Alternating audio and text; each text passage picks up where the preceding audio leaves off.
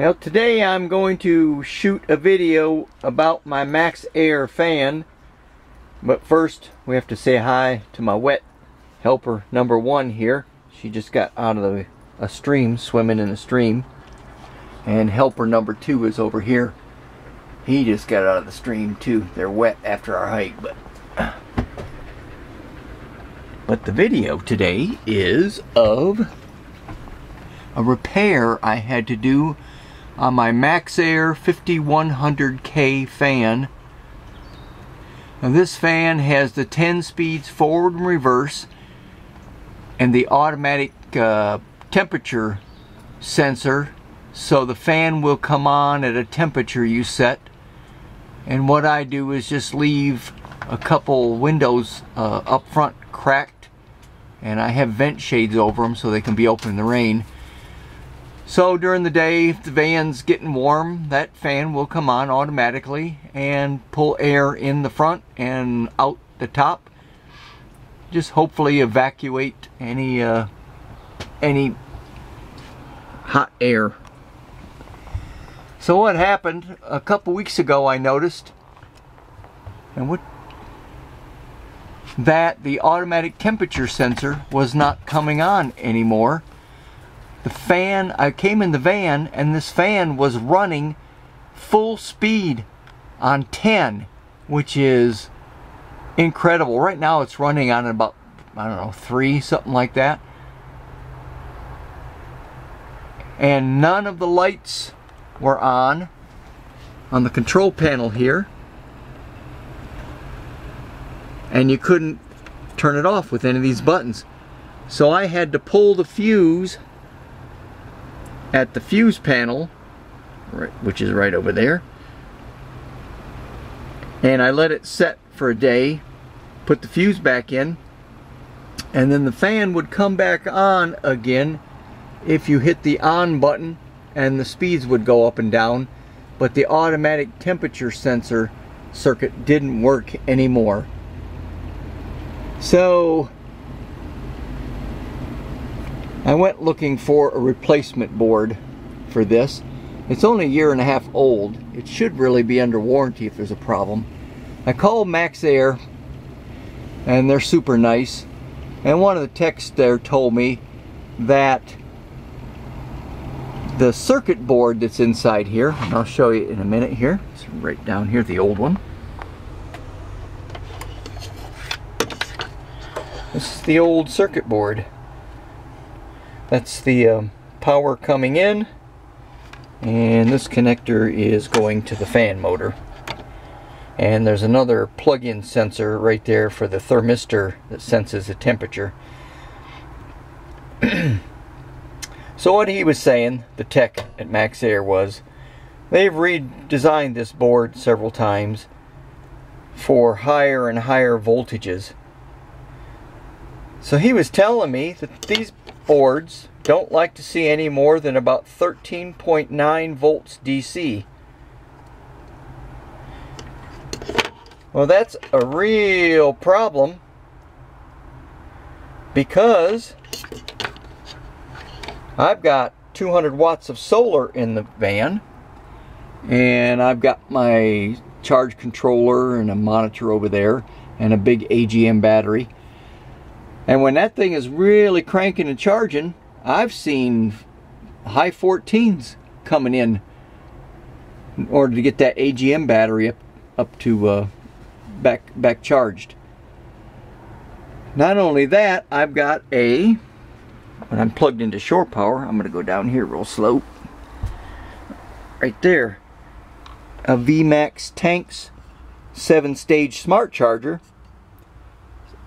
20 amp charger. I'm going to turn it on right now. I'm plugged into shore power. And we're going to go up and watch the voltages up here. Okay, that's the voltage coming in. 12.76 it was a minute ago, 12.93. This is the smart charger analyzing the battery. And what it's going to do is uh, go through seven stages of charging. Depends on how much discharge you've had on the battery. I've seen this voltage on the upper left, way up here, over 14 volts. And it's headed that way now. So that's more than supposedly what this Maxxair fan wants to see. Which makes no sense to me, because those fans are being used in RVs and vans that have solar and shore power chargers. Not only that, the guy at Maxxair told me they've had these boards blow up uh, from people running it on the front starter battery alternator system too. And in this van here, this transit van, uh, normally I go down the road, I see 14.2 volts on the front starter battery system, which is completely separate from the AGM battery system here in the back of the van. So we're already at 13.97. We're already over what they say they these boards like to see. There's 14 right there. 1401. So he suggested I use a voltage regulator and they sent me a free board which was mighty nice of them it's only a year and a half old so it's a two-year warranty on Maxxair fans. So this is the old board. I've already installed the new board. It's pretty easy. So I go on Amazon and I start looking and I find this DC to DC buck converter and it will take anywhere from 5.5 volts to 32 input. And then the out can be selected anywhere from 1 to 27 volts this output. This is input this is output and this is DC in DC out. And it's adjustable by this little teeny brass screw right here. So right now we're looking at 13.98 and I've got my alligator clips hooked up back here. And that screw is set. And this is the voltage that's being output to the fan right now 12 volts. So hopefully this will never help, uh, happen again. Um, this has uh, aluminum fins and everything on the back side but you can't get to this screw if you flip it around and let the fins face out. But I've been putting my fingers on it while it's uh, while the fan's really cranking, and this thing barely gets warm. Um, we're only converting from 14 volts down to 12, 14 in, 12 out. So I don't think that's going to be a problem having the fins facing in, but you can't really get airflow or anything in this position here. But I'll keep an eye on it. It's looks like it's a pretty well made unit. So back to the fan. Oh, let's see if I can bend back here. Right now it's just set on on off button and then the fan speed is set there. But if you hold this button, it beeps and the green light comes on.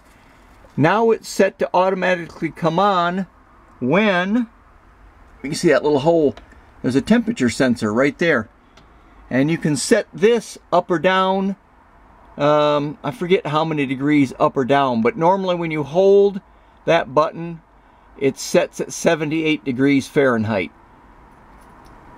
And if you go down 77 76 75 whatever it will come on automatically and start evacuating the uh, hot air out of the van here. And you can you can go over here and put a cigarette lighter or something underneath that right there and that fan will come on. Watch this. Here's a barbecue grill. As soon as I uh, put a flame right there on that sensor that fan came on and this fan will increase and decrease in speed according to what temperature is in the van which is pretty handy I find because it may come on really slow at 78 degrees and if it really starts cranking outside and the van gets warmer that fan will increase in speed and I usually leave it plugged into shore power anyways while I'm at home here So it's got all the AC power coming in that it needs to run everything in the van. Uh, but when you're out away from shore power, of course, you'll be using the, uh, the AGM battery system. But anyways, that's a little bit of a rundown. Oh, that beeping. That's my uh, multimeter on a timer getting ready to shut off. Still running at 12 volts out to the fan and 13 point, oh, 14, that keeps jumping around, 1401 to 1395 on the battery system. So, this unit here may save my fan and I've only got about another six months before the two-year warranty runs out. Um, I don't want to be buying these boards all the time if this is going to be a problem. The guy at Maxxair told me these boards are about $42 if they're not under warranty. So that's my Maxxair fan repair video for you.